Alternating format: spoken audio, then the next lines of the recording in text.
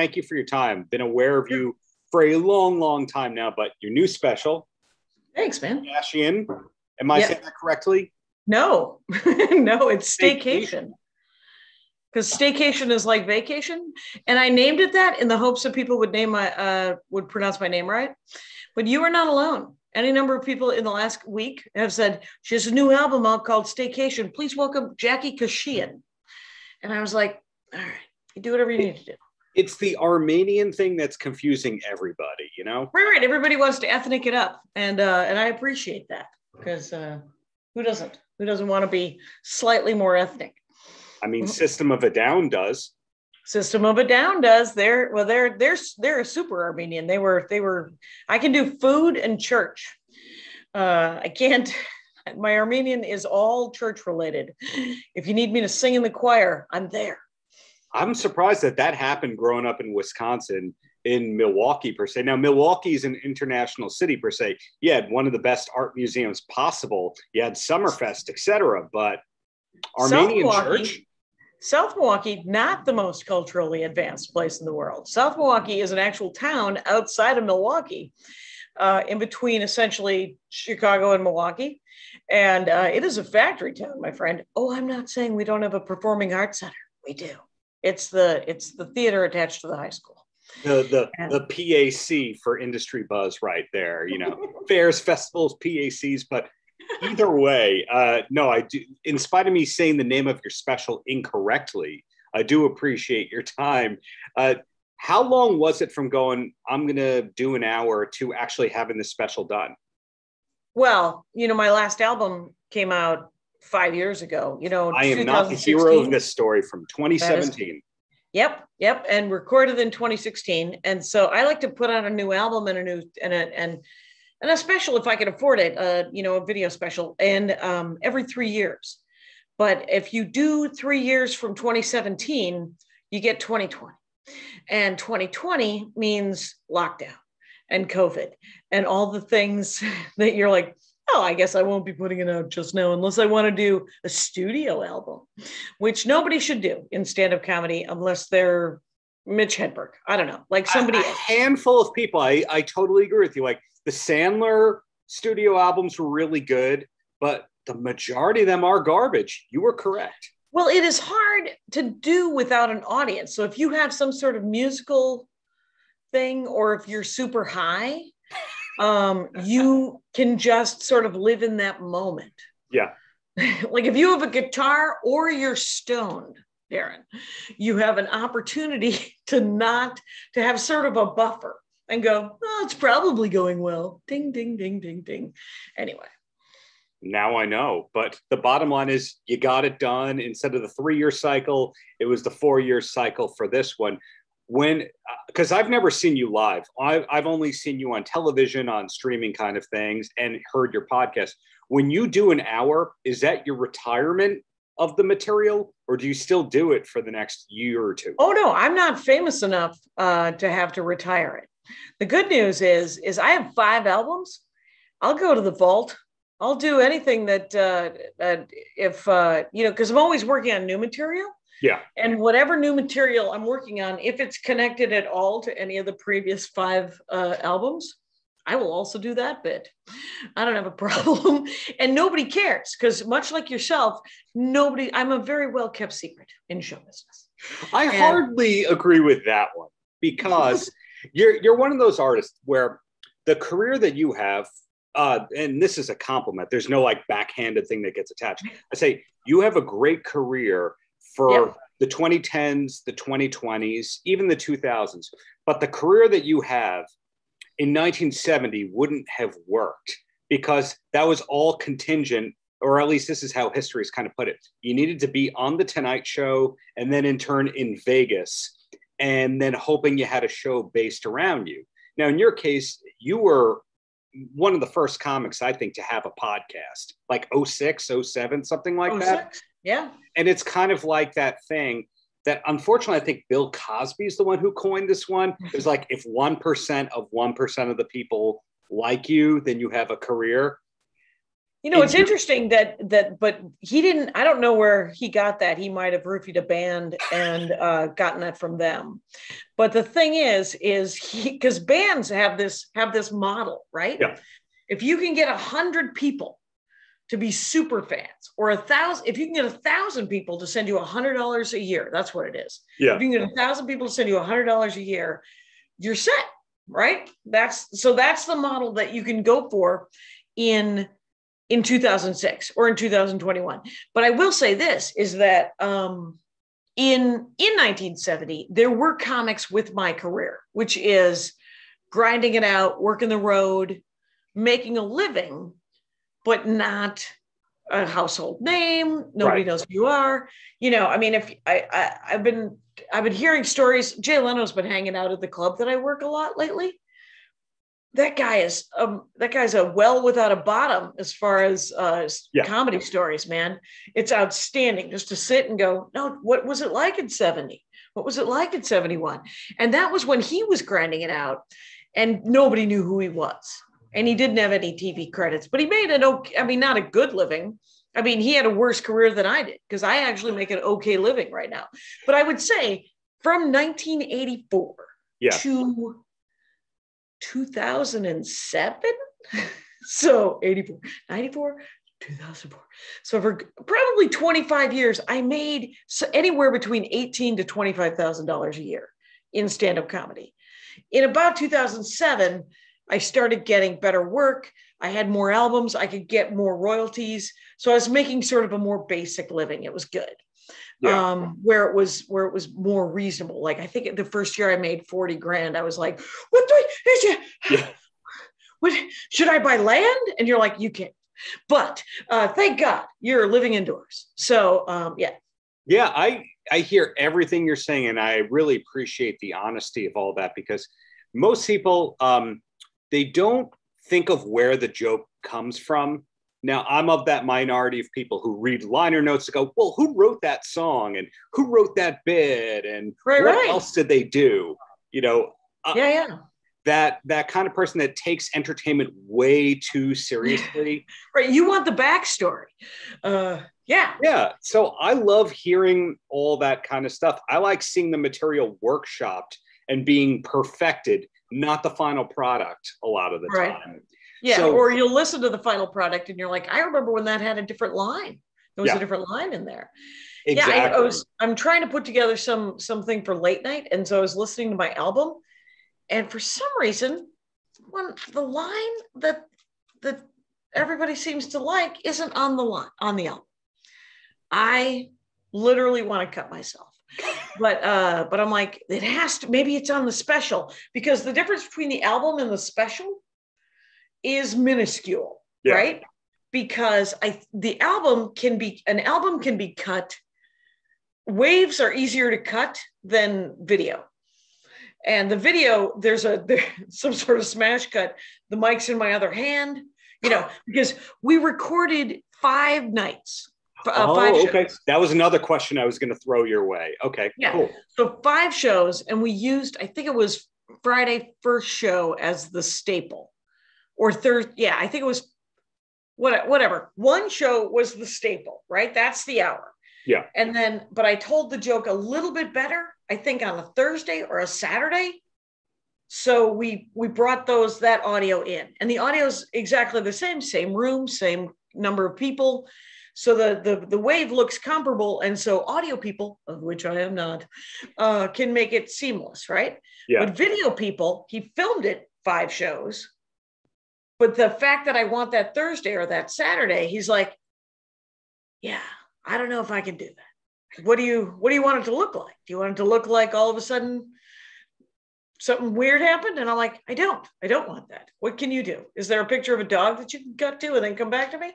Uh, Chelsea Peretti did that in a special like two, three years ago, which I thought was genius. It was Mm-hmm. like panning in on people in the audience who weren't actually there in the audience. what? I wonder who. Well, that was that's Banana Land. Well, good for her.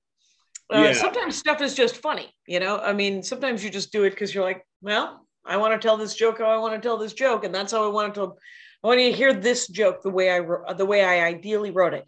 And then as soon as you do an album or a special, Mhm. uh, the bits that you've just done, uh, the best punchline, the best tag, a new angle shows up, and you're like, ah, great, all right. But that's what that's what makes the live experience so much better. Yeah. You know, I mean, obviously you should see stand up live. And then uh, I do a podcast with Laurie Kilmartin Yes. where we talk about stand up comedy. And that is all pretty much we talk about because we both love it so. And we can, But it, that it, that you're, it. you're talking shop. I love hearing people who know what it is that they're doing talking Okay. shop with other people because they don't have to explain things. Like if you heard two professional wrestlers talking, he goes, uh, you know, and then the heel, co- oh, the heel is the bad guy. Okay. like you Yeah, don't yeah. have to do that kind of stuff. So you mentioned Jay Leno before, and something I'm really curious about is Jay Leno is the one comic who totally is anti-comedy specials. Have you heard him do that rant?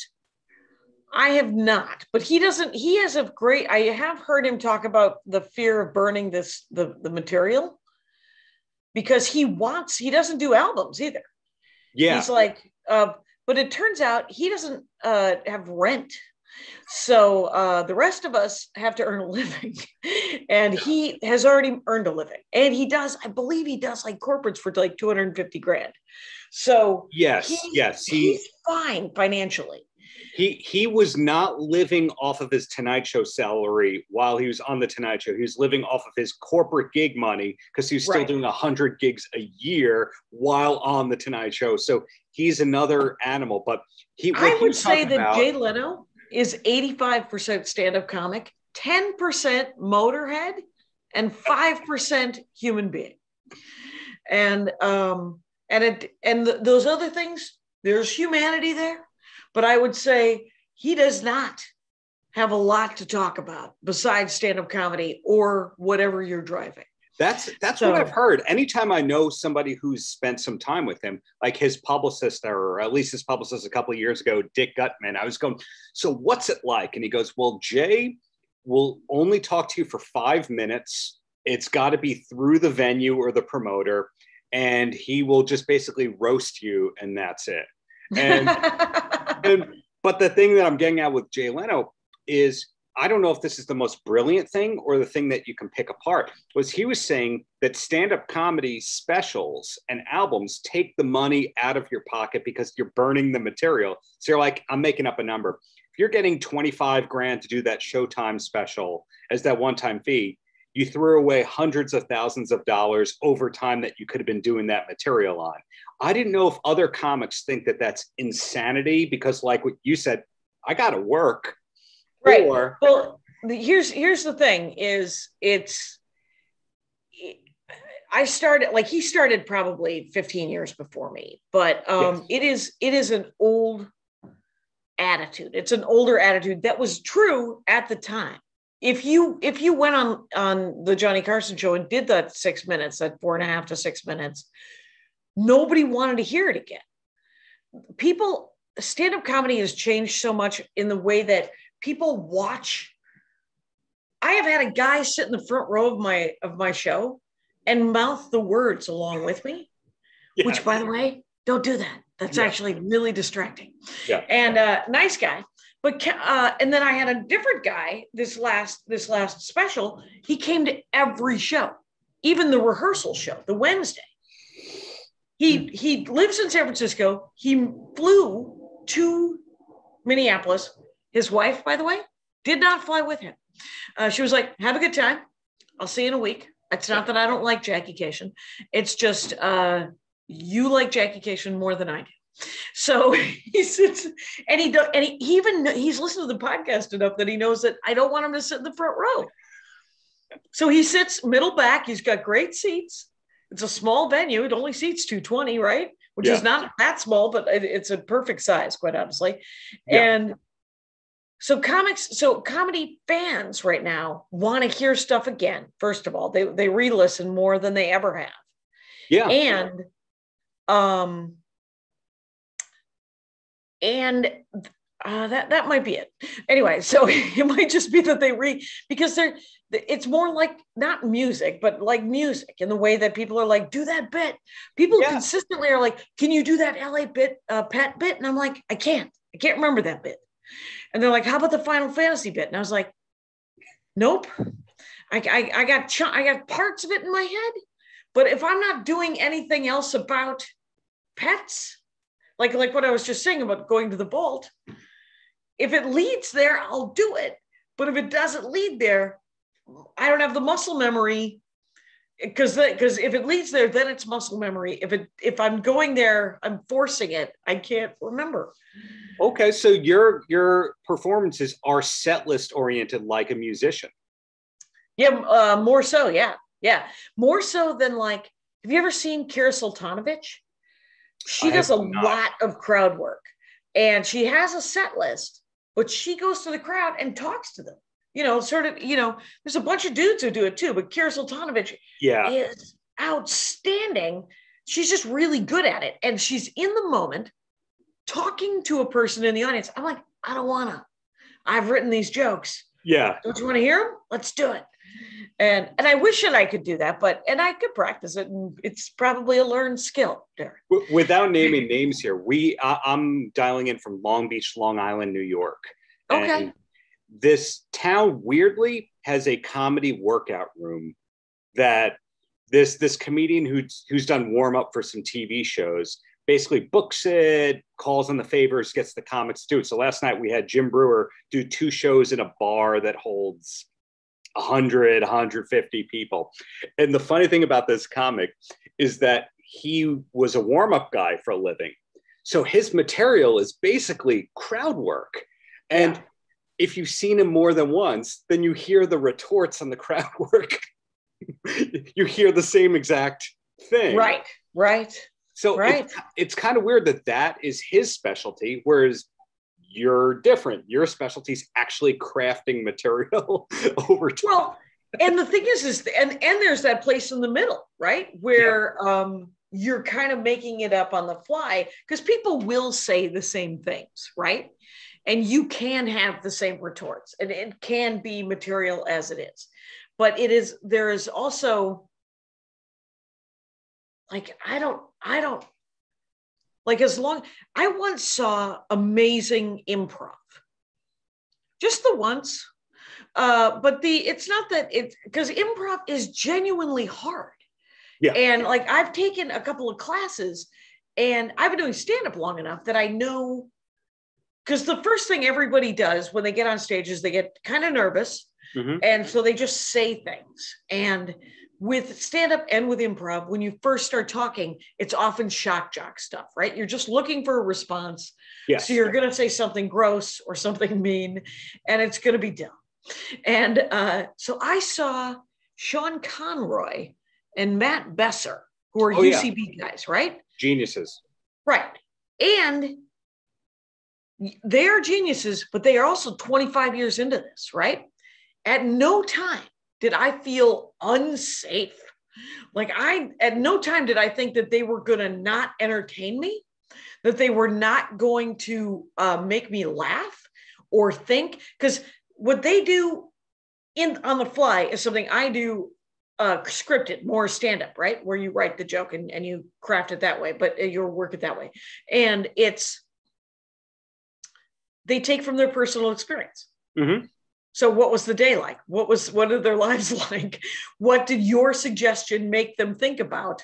Oh, you remember Uncle Jimmy and his weird job working for North American, where he was an over-the-road truck driver, and then they tell that story, and you're like, yeah, and it's never any. It's not going to be gross. It's it's just going to be weird at at the at the most, at the least hilarious. It's going to be interesting and so it's just a it's such an interesting the craft the, the the and i do think it's a craft and an art and all these things but i think that the craft of it is so how different it can be everybody. Jay leno told a joke the other night. He wouldn't want me to tell you. I don't want to burn it. Uh, yeah i mean that's going to take about 14 grand out of his potential earnings from losing that one joke. I, I get it. No i don't yeah i mean he doesn't need the 14. No. and write another joke.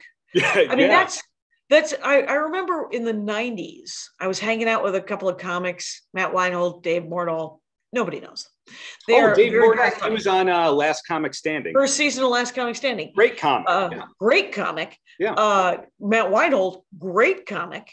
Uh, San Francisco guy has an album out that I was just talking to him on the Dork Forest, and he's like, "Yeah, if you listen to that one, remember it was it was recorded in the '90s. I don't really say a lot of those words anymore. I take it he he had some homosexual f word nonsense, but um, but the the deal is this: is that um, they were sitting around, and Dave was mad because someone had stolen some joke and it was very observational it was uh, and it might have been in the zeitgeist because that's true too it's like a lot of people are talking you know for some reason stuff comes up Yeah. and um and matt weinhold said the best thing. He goes yeah you could worry about it or you could just write another joke and dave was like mm, fine. But Yeah, i like that joke. And you're like yeah you love it. You're married That's a it really, really good point that people don't th- think about. Now, I'm not saying that every joke you write is going to be a, a zinger per se, or what's the equivalent? What's a good way of saying zinger? A? What's a way that's not in the Appalachians in the in the 30s? I don't know. I don't know. yeah, But, uh, they're, they're not all going to be that. But if that's your craft, why Mhm. can't you practice your craft and go back to the well more? And Yeah. It could, Yeah. And it isn't easy to write a joke. So when someone does something that's comparable or the same, I have this joke that's on the album about comparing, just talking about people as meat, essentially, right? Well, a woman, an Irish comic who I've never met before, is in Los Angeles for a week. Same premise. Do you know why? Because people are just meat. There's Yeah. absolutely nothing that can be done about that. So uh, I have a Schrodinger's cat joke. Bunch of people have a Schrodinger's cat joke. I tag something with a Telltale Heart reference. Two other comics, Telltale Heart. I was like, all right, well, I guess I guess we're all living kind of the same experience, though I'm not going to reference Succession or Squid Games. So there you go. well, what you're talking about, the comparable music thing would be, well, that riff appeared in that song. Yeah, but I never heard that song. How would I hear that song? I didn't listen to college radio in Duluth, Minnesota. It's one of those kinds of things. It's just statistically the probability of there's 12 notes. Right? The song's got to be three minutes long. Maybe there's a chance that Sweet Child of Mine was in another song. Right, right. It's just there's, and you can, you can be mad about it. You can be, you could. There, there's there's disappointment, and then there's just re-feeling, just resenting it forever. Yeah. And you're like, that's going to affect writing the next joke. That's going to stop you from actually doing the the work. So Totally. I don't ever want to stop doing. I mean, that's my my least favorite thing about comics, and it happens a lot in comics my age. You know, who've been doing it as long as I have. They don't write as much, and they and they you know they have this sort of nostalgia nonsense, and you're like, don't look at the 28 year old. Look at that 35 year old. There's a golden age of comedy happening all around us, and Yeah. it has been for 25 years, and probably for the 25 i was probably part of that golden age myself 10 years before that and still are. right right ah yes Well, I, I got one more quick topic for you, and then I'll, I'll let you roam free. And I Thank saw at your IMDb credits, you're part of an Emo Phillips documentary. what Are Um, you part of a documentary called I wrote down Stalking Emo? Or are you just in the background at a comedy club where he was performing? you know what? I bet you i know what that is. I haven't looked at my imdb i'm in the part of show business that doesn't uh th- yeah i would like to be uh, more active in my own career. But here's um I, I know what that is. Uh, Emo Phillips did the Dork Forest once, and which is my Oh, they, they And- fair use your podcast. Yes, that's what it is. Which I'll tell you, uh, Michelle McNamara was on my podcast like four times, and HBO's um, documentary about the Golden State State Killer, they used that as well. I don't know if that's on my IMDb page, but it's a better credit. I didn't write that down per se, but I love Emo Phillips. Emo Phillips, talk about a guy who writes who's a genius. That guy's a yeah. That guy's nobody's right. His jokes, he's there's so many great comics, and they are my age or older, still writing, mm-hmm. still creating, still doing like Wendy Liebman. Are you kidding me? Oh yeah. Um, Emo Phillips. There's um, yeah, there's just a lot of great comics out there. Anyway. Yeah, it's great to see Wendy Liebman was I don't know who came first with the talking the under under the breath. Was it her or Kevin Nealon, or is it just a coincidence that they did that at the same time? Any idea? Could have been. I mean, stage presence is is super addictive too. So like, um, whenever I see Todd Glass or Jimmy Pardo on stage, I end up with their cadence for about twenty minutes. Good cadence. I hope I hope I hope that there's comics in between us, so I don't just have that. Hey, what's your which I already half have anyway. So okay, replacement. Last question, then, and then you're free. LA person, you were around entertainment in the 80s, 90s, 2000s, etc. David Lee Roth was known to be around the comedy store a lot in the 80s. Did you ever see David Lee Roth at a comedy club? I have never seen David Lee Roth at a comedy club. Know in your heart that I would not recognize David Lee Roth if he walked up to me and said, "Don't drive 55" or whatever the heck. Anyway, um, and I wasn't in LA in '84. I was in Madison, Wisconsin. So oh, uh, you're so, a comedy sportser. Uh, no, no. The comedy cellar in Madison, Wisconsin was owned by Sam Kinison's brother, Bill. I did not know it. Oh my, wow. The amount yeah. of knowledge that you have imparted today, and not just in how to correctly say your last name, is just through the roof, Jackie. So, Thanks for having me, man. Outrocast.